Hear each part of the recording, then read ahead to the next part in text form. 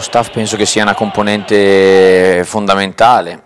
Eh, quando noi parliamo di, di, voler creare una squadra e lo diciamo ai ragazzi, prima dobbiamo dimostrarlo noi come staff.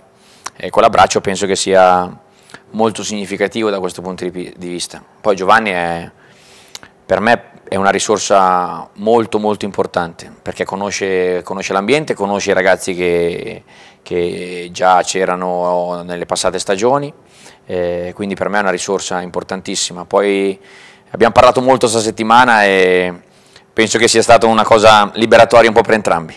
Secondo me l'abbiamo dimostrato domenica di essere squadra, ma la squadra è, un'entità che, che nasce e cresce giorno per giorno.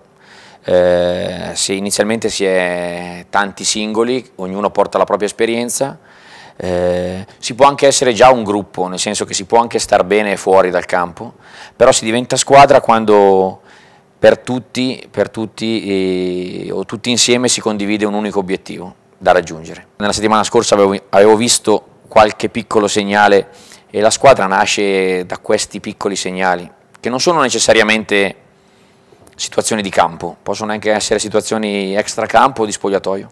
Sì, sì, ma Allen, Allen è, allora, intanto premetto che è, penso che sia uno di quei giocatori che eh, ho voluto più fortemente qui perché è un giocatore che ha delle qualità importanti. A volte mi incavolo un po' con lui perché, perché sono convinto che non ha ancora espresso tutto quello che può esprimere, perché ha delle potenzialità enormi ancora.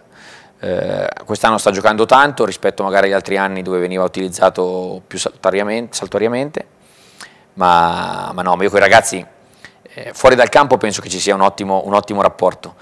E poi dopo quando siamo in campo però eh, lo sanno che io guardo poco in faccia a chi mi trovo davanti, eh, per me conta solo la squadra, quindi se vedo qualcosa che va migliorata lo dico, a volte con dei toni più pacati, a volte nel, nella, nella, nel trans della partita magari usi dei termini un pochettino più, più aggressivi, però con Allen, ripeto, penso che ci sia grande stima innanzitutto e poi c'è un, un ottimo rapporto. L'Avellino dobbiamo pensare che eh, è prima in classifica e quindi è una squadra che ha dei valori importanti perché non si è prima in classifica per caso. Quindi intanto bisogna dire che stanno facendo molto bene. E per il resto noi dobbiamo giocarci la nostra gara ricordandoci la partita di Coppa Italia, tenendocela bene a mente in tutti i suoi momenti, sia tecnico-tattici che, che, di altro genere. Io penso che la squadra sia, sia cresciuta, sia cresciuta perché comunque ha preso ha, ha preso consapevolezza anche dei propri errori, anche dei propri errori però penso che sia una squadra completamente diversa sotto praticamente tutti i punti di vista, come probabilmente anche loro sono diversi rispetto a quelli che erano ad agosto. Io diffido dalle persone che dicono di non essere scaramanti, che io penso di esserlo, quindi pronostico, guarda, neanche sotto tortura lo faccio. Allora, il primo, rimessa laterale, gran movimento di Sciaudone, cross in area, Caputo sul primo palo di testa gol. Il secondo palla sull'esterno a destra, cross di Stevanovic, De Luca che è alto 1,12 m sbuca sul secondo palo e fa gol. E il terzo invece è una palla incrociata, De Luca prende palla a sinistra, rientra, rientra, rientra, rientra, rientra, tiro sul primo palo, gol. Però abbiamo preso anche due gol, dobbiamo ricordarci anche di quelli.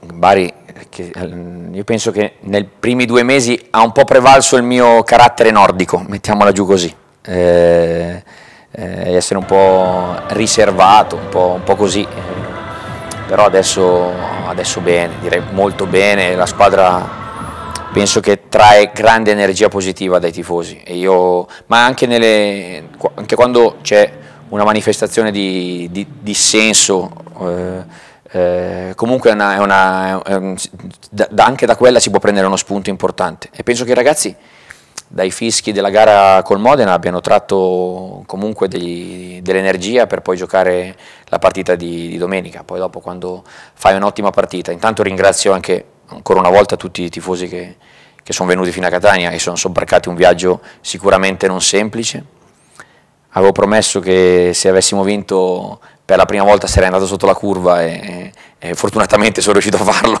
visto che abbiamo vinto. Eh, però poi vabbè, rientro qui è, stato, è, stata una cosa incredibile, io non credo che ci sia un'altra piazza in Italia che possa fare una cosa come, come fanno i tifosi del Bari, non credo che esista proprio.